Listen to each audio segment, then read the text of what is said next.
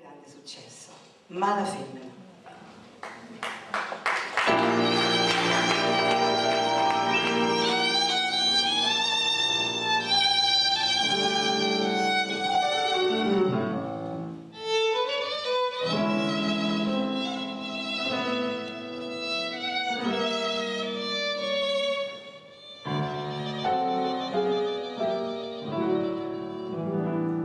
Se avesse fatto stata nata